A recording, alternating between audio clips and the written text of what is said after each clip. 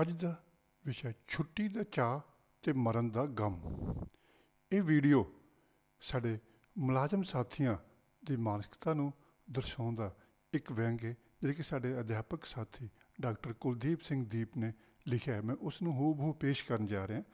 ਸੋ ਤੁਹਾਡਾ ਸਵਾਗਤ ਹੈ ਮੇਰੇ YouTube ਚੈਨਲ ਇਨਕਲੂਸਿਵ ਐਜੂਕੇਸ਼ਨ 'ਚ। ਜੇਕਰ ਤੁਸੀਂ ਚੈਨਲ ਨੂੰ ਹਜੇ ਤੱਕ ਸਬਸਕ੍ਰਾਈਬ ਨਹੀਂ ਕੀਤਾ, ਹਰ ਨਵੀਂ ਵੀਡੀਓ ਨੂੰ ਸਬਸ ਪ੍ਰਾਪਤ ਕਰਨ ਲਈ ਇਸ ਨੂੰ ਚੈਨਲ ਨੂੰ ਸਬਸਕ੍ਰਾਈਬ ਕਰਕੇ ਬੈਲ ਆਈਕਨ ਬਟਨ ਜ਼ਰੂਰ ਦਬਾਓ ਤਾਂ ਜੋ ਤੁਹਾਨੂੰ ਹਰ ਨਵੀਂ ਵੀਡੀਓ ਦੀ ਨੋਟੀਫਿਕੇਸ਼ਨ ਸਭ ਤੋਂ ਪਹਿਲਾਂ ਪ੍ਰਾਪਤ ਹੋ ਸਕੇ। ਜਿਹੜੇ ਸਾਲ ਮੈਨੂੰ ਮਾਸਟਰ ਦੀ ਨੌਕਰੀ ਮਿਲੀ ਸੀ, ਉਸ ਸਾਲ ਗਿਆਨੀ ਜੈਲ ਸਿੰਘ ਜੀ ਦੀ ਮੌਤ ਵੀ ਹੋਈ ਸੀ। ਕੁਦਰਤਨ ਤਰੀਕ ਵੀ ਇੱਕੋ ਸੀ 25 ਬਸ ਇੰਨਾ ਕੁ ਫ਼ਰਕ ਸੀ ਕਿ ਮੈਨੂੰ 7ਵੇਂ ਮਹੀਨੇ ਦੀ 25 ਤਾਰੀਖ ਨੂੰ ਨੌਕਰੀ ਮਿਲੀ ਸੀ ਅਤੇ ਗਿਆਨੀ ਜੈਲ ਸਿੰਘ ਜੀ ਮੇਰੇ ਨੌਕਰੀ ਮਿਲਣ ਤੋਂ ਠੀਕ 5 ਮਹੀਨੇ ਬਾਅਦ 12ਵੇਂ ਮਹੀਨੇ ਦੀ 25 ਤਾਰੀਖ ਨੂੰ ਇਸ ਫਾਨੀ ਦੁਨੀਆ ਤੋਂ ਕੋਚ ਕਰ ਗਏ ਸਨ। ਉਂਝ ਉਹਨਾਂ ਦੇ ਮਰਨ ਵਿੱਚ ਮੇਰਾ ਕੋਈ ਹੱਥ ਨਹੀਂ ਸੀ। ਮਰੇ ਤਾਂ ਉਹ ਐਕਸੀਡੈਂਟ ਦੀ ਵਜ੍ਹਾ ਨਾਲ ਸੀ। 29 ਨਵੰਬਰ 1994 ਨੂੰ ਉਹਨਾਂ ਦੀ ਕਾਰ ਦਾ ਟਰੱਕ ਨਾਲ ਐਕਸੀਡੈਂਟ ਹੋ ਗਿਆ ਸੀ ਅਤੇ ਉਹਨਾਂ ਦੇ ਗੰਭੀਰ ਸੱਟਾਂ ਲੱਗੀਆਂ ਸਨ। ਉਹਨਾਂ ਨੂੰ ਪੀਜੀਆਈ 'ਚ ਦਾਖਲ ਕੀਤਾ ਗਿਆ ਸੀ। ਉਹਨਾਂ ਸਮੇਂ ਵਿੱਚ ਦੇਸ਼ ਭਗਤੀ ਹੁਣ ਨਾਲੋਂ ਮਾਸਾ ਕੋ ਵੱਧ ਸੀ।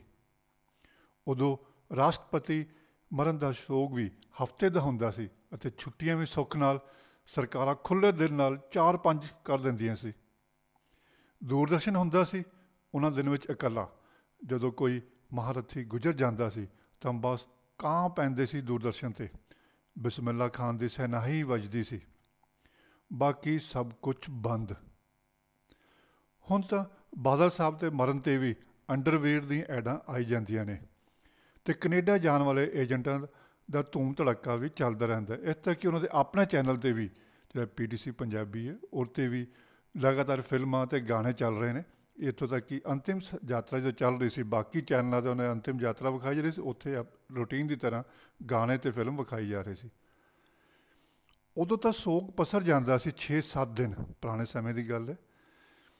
ਨਿਆਣਾ ਲਈ ਤੇ ਹਫਤਾ ਸਾੜ ਸੱਤੀ ਵਰਗਾ ਹੁੰਦਾ ਸੀ। ਦੁੱਧ ਸੀ ਦੁੱਧ ਸੀ ਸਫੇਦੀ ਵਾਲੀ, ਚਿੱਟੀ ਫਰਾਕ ਪਾ ਕੇ ਘੁੰਮਣ ਵਾਲੀ। ਬੀਬੀ ਦਾ ਵਾਸ਼ਿੰਗ ਪਾਊਡਰ ਨਿਰਮਾ ਵਾਲਾ ਗੀਤ ਵੀ ਬੰਦ ਹੋ ਜਾਂਦਾ ਸੀ ਤੇ ਚਿੱਤਰਹਾਰ ਦਾ ਭੋਗ ਪੈ ਜਾਂਦਾ ਸੀ। ਮੈਂ ਨਵਾਂ ਨਵਾਂ ਮਾਸਟਰ ਲੱਗਿਆ ਸੀ ਤੇ ਮਾਸਟਰਾਂ ਦੀ ਮੁਰਲੀ ਮਾਰਕਾ ਚੁੰਝ ਚਰਚਾ ਦਾ ਭੇਤੀ ਨਹੀਂ ਸੀ। ਗਿਆਨੀ ਜੈਲ ਸਿੰਘ ਦਾ ਇਲਾਜ ਚੱਲ ਰਿਹਾ ਸੀ। ਸਥਿਤੀਆਂ ਸੀਰੀਅਸ ਹੋ ਰਹੀ ਸੀ ਦਿਨੋਂ ਦਿਨ। ਹਰ ਰੋਜ਼ ਸ਼ਾਮ ਨੂੰ ਨਿਊਜ਼ ਬੁਲੇਟਿਨ ਆਉਂਦਾ। ਜਿਵੇਂ ਜਿਵੇਂ ਗਿਆਨੀ ਜੀ ਦੀ ਹਾਲਤ ਵਿਗੜਦੀ ਜਾ ਰਹੀ ਸੀ, ਮਾਸਟਰਾਂ ਦੇ ਚਿਹਰਿਆਂ ਤੇ ਰਾਹਤ ਵਰਗਾ ਕੁਝ ਨਜ਼ਰ ਆ ਰਿਹਾ ਸੀ ਅਤੇ ਚੁੰਝ ਚਰਚਾ ਤੇਜ਼ ਹੋ ਰਹੀ ਸੀ। ਦਸੰਬਰ ਦੇ ਪਹਿਲੇ ਹਫ਼ਤੇ ਸਥਿਤੀ ਕਾਫੀ ਨਾਜ਼ੁਕ ਬਣ ਗਈ। ਬਸ ਇਉਂ ਲੱਗਦਾ ਸੀ ਕਿ ਝੋਟੇ ਵਾਲਾ ਬਾਬਾ ਆਇਆ ਕਿ ਆਇਆ। ਮਾਸਟਰਾਂ ਦੇ ਚਿਹਰਿਆਂ ਤੇ ਪੰਜ ਛੁੱਟੀਆਂ ਦਾ ਜਲੋ ਸਾਰੇ ਆਮ ਦਿਸ਼ ਦਿਸ ਰਿਹਾ ਸੀ। ਗਿਆਨੀ ਜੀ ਦੇ ਘਰ ਦੇ ਜਾਂ ਸਮਰਥਕ ਤਾਂ ਨਿਊਜ਼ ਬੁਲੇਟਿਨ ਨੂੰ ਬੇਸ਼ੱਕ ਘੱਟ ਉਡੀਕ ਉਡੀਕਦੇ ਹੋਣ। ਸਾਡੇ ਆਲਾ ਮਹਿਕਮਾ ਪੂਰੀ ਬੇਸਬਰੀ ਨਾਲ ਗੁੱਡ ਨਿਊਜ਼ ਦੀ ਉਡੀਕ ਵਿੱਚ ਸੀ।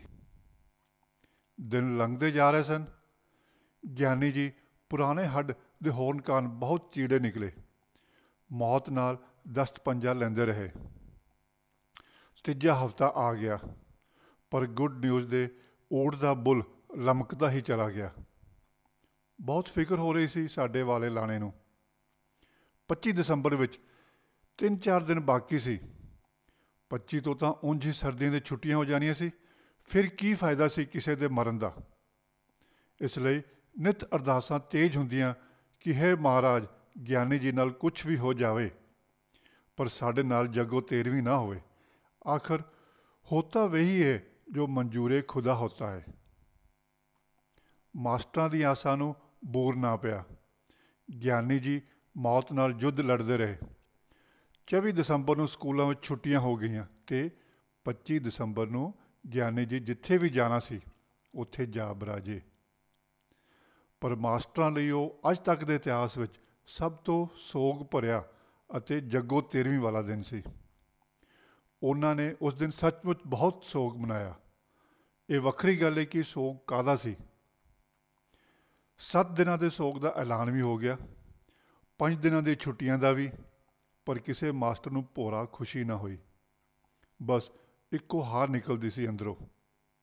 ਕਾਸ ਕਿਤੇ ਉਹ ਬੀਤੇ ਵੇਲੇ ਮੁੜਾਵਣ ਉਦੋਂ ਤੋਂ ਲੈ ਕੇ ਅੱਜ ਤੱਕ ਜਦ ਵੀ ਕਿਸੇ ਵੱਡੇ ਬੰਦੇ ਦੀ ਮੌਤ ਹੁੰਦੀ ਏ, ਤਾਂ ਸਾਡੇ ਆਲੇ ਮਹਿਕਮੇ ਵਿੱਚ ਇਹੀ ਖੁਸਰ ਮੁਸਰ ਜ਼ਰੂਰ ਚੱਲਦੀ ਹੈ। ਅੱਜ ਵੀ ਕਈਆਂ ਦੀ ਅੱਧੀ ਤੇ ਕਈਆਂ ਦੀ ਸਾਰੀ ਛੁੱਟੀ ਜ਼ਰੂਰ ਖਰਾਬ ਹੋਈ ਹੋਣੀ। ਤੇ ਸਾਰਾ ਦਿਨ ਬਾਦਲ ਸਾਹਿਬ ਦੀ ਮੌਤ ਦਾ ਕੱਟ ਛੁੱਟੀ ਖਰਾਬ ਹੋਣ ਦਾ ਸੋਗ ਵੱਧ ਚੱਲਦਾ ਰਿਹਾ ਹੋਣਾ। ਉਂਝ ਛੁੱਟੀਆਂ ਵੀ ਇਹ ਸਿਆਸਤ ਬਹੁਤ ਕਮਾਲ ਹੈ। ਛੁੱਟੀਆਂ ਦੀ ਇਹ ਸਿਆਸਤ ਬਹੁਤ ਕਮਾਲ ਦੀ ਹੈ। ਸਰਕਾਰਾਂ ਨੂੰ ਪਤਾ ਨਹੀਂ ਇਹ ਕਿਉਂ ਲੱਗਦਾ ਹੈ ਕਿ ਛੁੱਟੀਆਂ ਦਾ ਆਨੰਦ ਮਾਣਦੇ ਹੋਏ ਮੌਤ ਦਾ ਸੋਗ ਸੋਹਣਾ ਮਨਾਇਆ ਜਾ ਸਕਦਾ ਹੈ। ਉਹ ਲਤੀਫਾ ਵੀ ਬਹੁਤ ਮਸ਼ਹੂਰ ਹੈ। ਤੁਸੀਂ ਆਮ ਸੁਣਿਆ ਹੀ ਹੋਵੇਗਾ ਕਿਸੇ ਪਿੰਡ ਵਿੱਚ ਇੱਕ ਬਜ਼ੁਰਗ ਦੀ ਮੌਤ ਹੋਣ ਕਾਰਨ ਸਕੂਲ ਵਿੱਚ ਛੁੱਟੀ ਕਰ ਦਿੱਤੀ ਗਈ।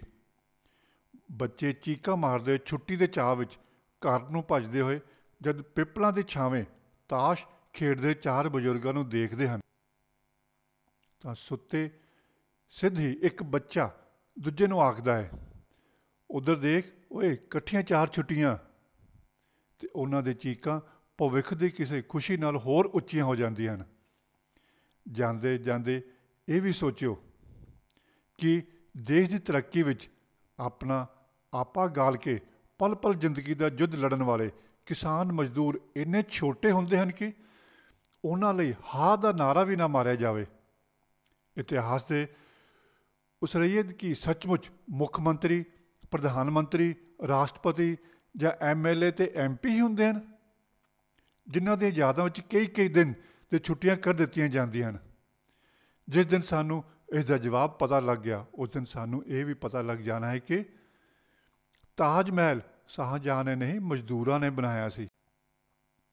ਦੇਸ਼ ਦੀ ਤਕਦੀਰ ਸੰਸਦ ਜਾਂ ਵਿਧਾਨ ਸਭਾਵਾਂ ਵਿੱਚ ਬੈਠੇ ਲੋਕ ਨਹੀਂ ਘੜਦੇ ਖੇਤਾਂ ਅਤੇ ਫੈਕਟਰੀਆਂ ਵਿੱਚ ਦੋਹਾਂ ਦੇਹਾਂ ਗਾਲਣ ਵਾਲੇ ਲੋਕ ਘੜਦੇ ਹਨ। ਤੇ ਫਿਰ ਲੋਕਾਂ ਨੂੰ ਇਹ ਵੀ ਸਮਝ ਆ ਜਾਏਗੀ ਕਿ ਕਈ ਕਈ ਦਿਨ ਦਾ ਕੌਮੀ ਸੌਗ ਸੋਗ ਕਿੰਨਾ ਦੀ ਯਾਦ ਵਿੱਚ ਹੋਣਾ ਚਾਹੀਦਾ ਹੈ?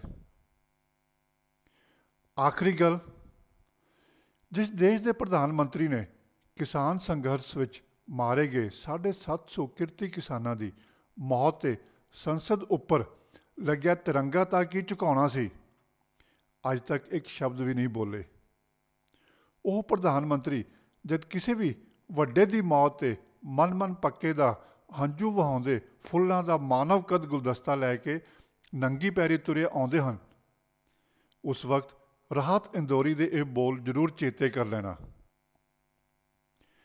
जो आज साहिब है मसनंद है कल नहीं होंगे किराएदार है जाति मकान थोड़ी है सभी का खून है शामिल यहाँ की मिट्टी में किसी की बाप का हिंदुस्तान थोड़ी है ਆਓ, ਹੁਣ ਤੱਕ ਦੇਸ਼ ਦੀਆਂ ਨੀਹਾਂ ਵਿੱਚ ਚਿਨੇ ਲੱਖਾਂ ਕਿਰਤੀ ਮਜ਼ਦੂਰਾਂ ਤੇ ਸਰਹੱਦਾਂ ਤੇ ਮਰਨ ਵਾਲੇ ਫੌਜੀਆਂ ਦੀਆਂ ਯਾਦ ਵਿੱਚ ਆਪਣੇ ਆਪਣੇ ਮਨ ਦੀਆਂ ਮਮਟੀਆਂ ਤੇ ਝੂਲਦਾ ਝੰਡਾ ਥੋੜਾ ਨੀਵਾ ਕਰ ਲਈਏ।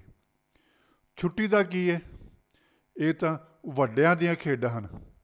ਜਦ ਹੀਨਿਆਂ ਨਮਾਨਿਆਂ, ਨਤਾਨਿਆਂ ਤੇ ਲੜਾ ਦਤਾੜਿਆਂ ਨੂੰ ਸਮਝ ਆ ਗਈ, ਆਪੇ ਬੰਦ ਕਰਵਾ ਲੈਣਗੇ। ਸੋ ਇਹ ਲੇਖ ਸੀ ਜਿਹੜਾ ਆਪਣੇ ਵਿਚਾਰ ਜਿਹੜੇ ਸਾਡੇ ਅਧਿਆਪਕ ਸਾਥੀ ਕੁਲ, ਡਾਕਟਰ ਕੁਲਦੀਪ ਸਿੰਘ ਜੀ ਨੇ ਪੇਸ਼ ਕੀਤੇ ਸੀ ਇਹ ਵਿਚਾਰ ਤੁਹਾਨੂੰ ਕਿਸ ਤਰ੍ਹਾਂ ਦਾ ਲੱਗੇ? ਕਿਸੇ ਤੇ ਨਿੱਜੀ ਹਮਲਾ ਨਹੀਂ ਸੀ। ਇਹ ਆਮ ਕੱਲੇ ਸਿੱਖਿਆ ਵਿਭਾਗ ਦੇ ਮੁਲਾਜ਼ਮਾਂ ਦੀ ਹੀ ਸੋਚ ਨਹੀਂ ਸੀ। ਇਸੇ ਤਰ੍ਹਾਂ ਜੇ ਸਰਕਾਰੀ ਮੁਲਾਜ਼ਮ ਹੋਰ ਵੀ ਮਹਿਕਮਿਆਂ ਦੇ, ਉਹਨਾਂ ਨੂੰ ਜੇ ਸ਼ਨੀ ਐਤਵਾਰ ਇਸ ਤਰ੍ਹਾਂ ਦਾ ਕੋਈ ਭੁਗਤਣਾ ਪੈ ਜਾਏ, ਤਾਂ ਉਹਨਾਂ ਦਾ ਵੀ ਸੋਚ ਜਿਹੜੀ ਉਹਨਾਂ ਦੀ ਮਾਨਸਿਕਤਾ ਵੀ ਸੇਮ ਇਸੇ ਤਰ੍ਹਾਂ ਦੀ ਹੁੰਦੀ ਹੈ। ਸੋ ਮੇਰੇ ਚੈਨਲ ਨਾਲ ਜੁੜੇ ਰਹੋ ਇਨਕਲੂਸਿਵ ਐਜੂਕੇਸ਼ਨ ਨਾਲ। ਜੇਕਰ ਤੁਸੀਂ ਚੈਨਲ ਨੂੰ ਹਜੇ ਤੱਕ ਸਬਸਕ੍ਰਾਈਬ ਨਹੀਂ ਕੀਤਾ, ਚੈਨਲ ਨੂੰ ਸਬਸਕ੍ਰਾਈਬ ਕਰਕੇ ਬੈਲ ਆਈਕਨ ਬੜੇ ਜ਼ਰੂਰ ਦਬਣਾ ਧੰਨਵਾਦ।